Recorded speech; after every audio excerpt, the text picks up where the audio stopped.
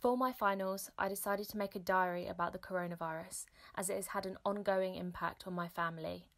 By the time I came to submit my work, Prime Minister Boris Johnson had been admitted into intensive care with COVID 19, just 14 days after declaring lockdown in the UK.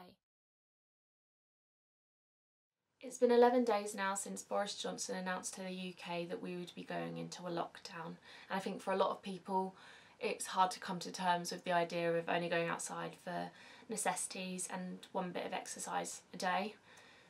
I made the decision to come home from university back to Essex to be with my family because I didn't know when I'd see them again and all because all my classes have moved online.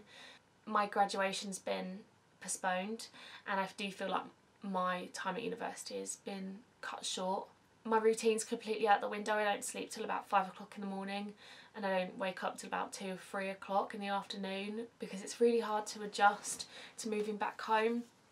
I live with my dad who has severe asthma so we don't get to go out as much as maybe we'd like to as a family. Um, my mum works from home so for her it's distracting having my sister and I and my dad back home and before Boris Johnson announced any sort of social distancing in the UK, before people believed that bog roll fortresses and defence by pasta was going to save them, my sister was actually quarantined on a college trip to Goa.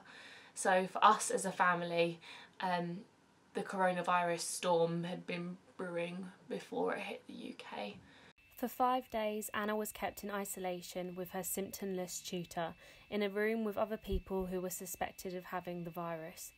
The conditions were poor, and our concern was that her and her tutor would catch it whilst being in quarantine. They said it was isolation, and what myself, mum, and teachers were expecting was for me to be put in my own sort of room because I was suspected of the virus. If I don't have it now, when I when I'm in here, I'm gonna get it off one of them, like before I even get tested.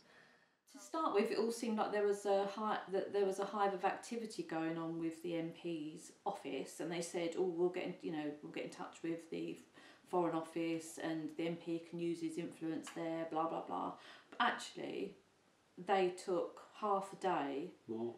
or more to do what I'd already done in the first hour or so of finding out that Anna was in quarantine. We were worried about her not only contracting the virus but also contracting I don't know dysentery or something Well, they because were it was spreading it. They were it was spreading yeah it. they were they weren't following all the protocols that were recommended by the government or the World Health Organization in terms of isolation. Visitors were coming and going willy nilly out of the ward, so obviously, if anybody there was contaminated, they were just spreading it out amongst the local populace. So this is a diary entry I wrote on day two at 7.07pm. An anonymous doctor came and told me off for being in the country at all.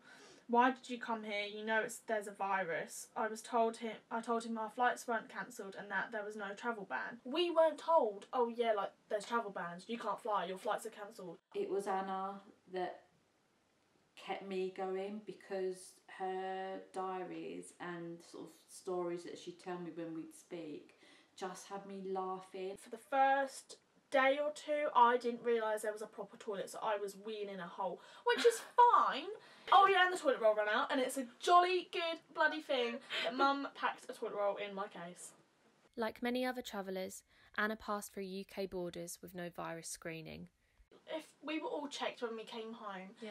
and if we were all checked before we came home, this, that and the other, like there was there would be even like the slightest bit of chance that we could have contained it better.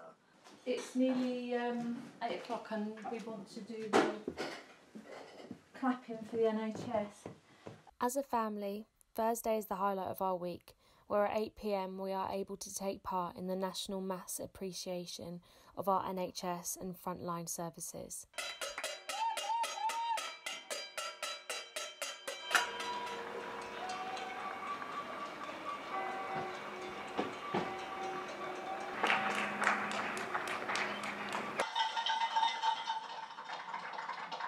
Emotional mum.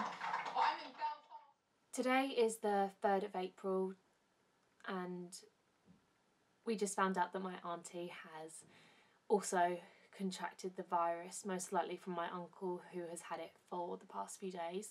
These are not confirmed cases as they haven't been officially tested. It makes you wonder how many people in the UK actually have the virus. It's quite daunting. My dad, his symptoms, he started off with mainly just like the cough, and then mum took his temperature and he had a temperature, and then in the night he said that he would like obviously get the sweats and shivering, and then he'd get really like dizzy as well. But now my mum's got it quite like she feels really unwell. I think she has like a temperature, aches and pains, coughing, and she's just been in bed all day, like not moving. So it's quite scary because obviously you see it all over the social media, like what's going on and what can happen. So obviously me and my sister are a bit worried about everything. A lot of students chose to remain with their housemates during the pandemic. It's been inspiring to see how creative they've been getting. I spoke to one student from a house that turned every room into a different theme bar, and despite how much fun she was having, she was concerned about the levels of hygiene. Each person had to make their room into a different themed bar, so we had like an Irish pub and a Jamaican themed bar and a karaoke room. So people quite often just won't wash their hands when they come in, or they may not be social distancing as much as they should have been. We've had to have hand sanitizer and stick it to the wall so when people come into the house they, they just do it.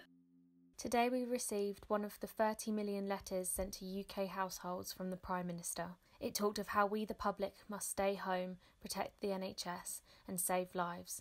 For the first time in a long time, society has forgotten their divisions. As physical borders close, our social barriers have collapsed. As communities come together and individuals dedicate themselves to saving the lives of others, this is an opportunity to reflect on what is important. As we all do our part to overcome a global crisis, in a time of uncertainty when we rely on the kindness of others, it begs the question how will society be after? Are we forever changed? It's one for the grandkids. Yeah, let's put it that way. One, one for the grandkids.